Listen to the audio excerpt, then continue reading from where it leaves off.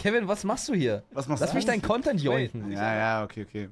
Phil hat actually gefragt, ob er das machen darf. Und dann meinte ich so, ja, Bro, also weil.